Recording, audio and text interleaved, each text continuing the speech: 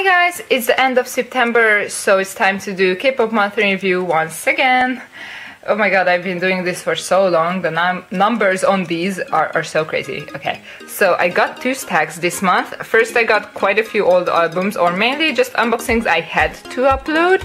It took me really long, and then by the time I got my old package it was pretty uh, close to the end of the month, so I still didn't finish uploading everything from the new package, which mainly has new albums, so those are just here. But the others were unboxings I filmed like in August pretty much. So the oldest unboxing I filmed and finally could upload is Infinite's BTD Japan single. This is uh, the photobook version. I got it from my friend Sabina. Yeah, I still didn't do a proper thumbnail for it. I just left what YouTube offered me because YouTube likes to cause me pain or something. Yeah, well, I filmed this before I knew anything happened, so. Then another older thing I bought uh, is BAP's Noir Youngjae version. I did get this quite a while ago. I got it together with my Twice Pink version, which I think I uploaded in uh, August, I think. Yeah. Then I also got Sonamoo's cushion and very confusing why is it even signed and all that story is of course in the MV, MV? in the unboxing video. Uh, that's why it's quite a long unboxing because I talk a bunch of stupid things in it, but other than that, it's just an unboxing of this. Yeah, one day I might get a normal copy of it, although it's pretty nice to have a signed copy, but I like to only have a signed copy when I have a normal one as well. So, well, it's okay because it's my favorite title track, so it's not too bad. I just want a normal copy, so yeah. Then I got my birthday present from Anna a bit late, but of course I don't mind because at least then I can get uh, like presents later in the year. So that is totally fine. And I got SHINee's One and One. My SHINee collection is almost completed as for the Korean discography because, well, I collect the repackages mainly, and of course mini albums, but those don't have repackages. So yeah, I'm almost done. So that is very exciting. Then I got the package from Brandon and I actually managed to upload the two unboxings right after each other. Here's after school Shush Mumo version. I got another Mumo version and it's UEE's. Not a surprise because the title says it, so yeah. then something really special because I don't know, Brandon is really good at finding I don't know, like things that are so rare and I just wanted it but I never even dared to say I wanted it. and that is T-ara's Breaking Heart limited edition one of my very very wanted albums but I never dared to say that I wanted it because well I was fine with not having it but you know deep inside I really wanted it. So I got it and thank you so much Brandon. It's amazing. Oh my god. I might just use this for the thumbnail. I don't know. Then uh, same with the Twice and Youngjae BAP package.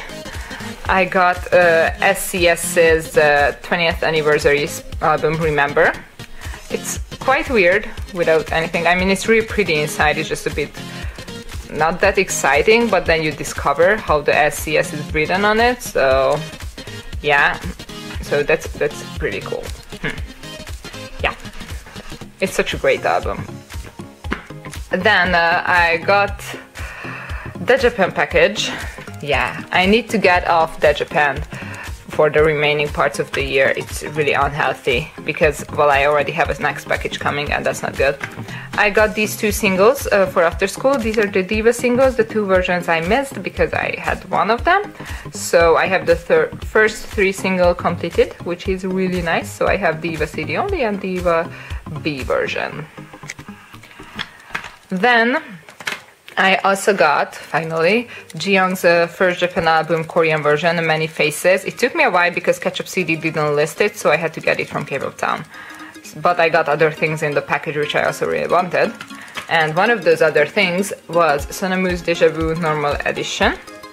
So yeah, I actually managed to upload it. Uh, this was the album which caused to fill the that shelf where it is. And since then, since I got Pristin albums I had to move Apink since then, but yeah, this was the last album which filled that before. Then I got Monsta X's second Japan single Beautiful CD only version. Yeah, I'm only gonna collect these probably. I mean, I try. I'm gonna try. Then I had to remove the cards I got, so here are the Wanna One albums I have. Here's a pink version and a sky version. So finally I managed to get Wanna One's 2B1, although they are releasing a repackage now and basically every group on the in Korea is releasing an album. So I'm already scared of October and November. It's crazy. And then the last few albums, I had to go and get the white version of Stellar's Stellar Into the World from eBay. It was a bit complicated and I wish I knew about the two versions and then could have just bought them together and have one unboxing, but that's how it is now, so I have two unboxings. And here I have the white version, which I do prefer, but the two kind of belong together. Having only one is kind of strange. Then, as I already mentioned, Pristin, do do do do, school out in, uh, in and out version. Obviously, this is in and this is out since they are inside and they are outside. Ooh. So these are super pretty. I'm in love with Pristin. If you didn't watch my girl group ranking video, you like, like it's like if you watched it, you know how high they are in the list, and that is crazy for just debuted group. But like, I just enjoy them, and I have a really good feeling whenever I look at the group as a whole. So I just I just love them, and I love watching their MVs, dance versions, dance practices, everything. So I'm kind of obsessed, and I love the mini album as well. This is such a great quality mini album. Oh my god, where are you? I love this girl. This makes such a great album for them. Of course, they are co-produced as like normally, but she does the songs and ah, I love it. Then the last uh, album I had time to upload from this package, these came together, is Golden Child's debut album GolCha, or more like GolCha's debut album Golce. And it's a fail unboxing, basically. I just couldn't remember or do the names properly and then two days later I just I knew everyone pretty much. And then now yesterday I watched Weekly Idol with them and Weki Meki so it really wasn't I, I don't know what I was thinking. And this boy is Donghyun I did it. Yeah. So and I have a problem and his name seemingly is Donghyun but I can't double bias anymore in Woollim so I have no idea what I should do because like yeah like Technically Seungri is my bias, but I think all of you knew that Hoya is not just an average second bias for me. And then of course Lovelyz in, uh, in Lovelyz I have Miju and Sujeong. So I guess Golden Child seemingly has this destiny.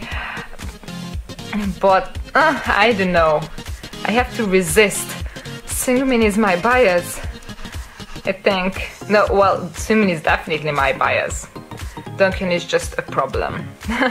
so yeah, these are the things I got this month. Technically I got more and technically I got most of these even before, but uploaded this month. So of course links in the description for all of these unboxings and I hope you watch them.